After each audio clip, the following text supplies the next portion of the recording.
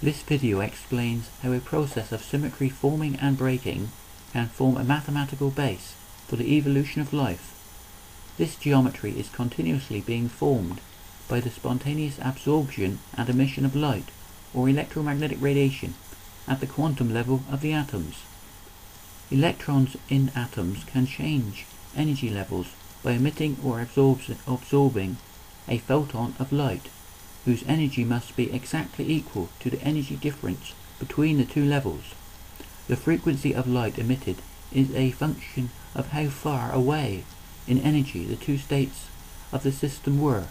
The energy difference between the two states equals the energy carried off by the new photon. This new photon will therefore have an energy level of the golden ratio compared to the previous energy levels. The mathematics of the golden ratio and the Fibonacci sequence are intimately interconnected.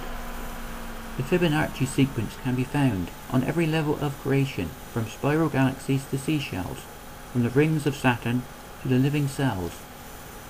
The atoms will distort the geometry of spacetime, creating mathematical patterns of fractional self-similarities of every conceivable shape, the same basic method of pattern formation, the same mechanism of symmetry breaking, governs the whole universe of organic and non-organic matter.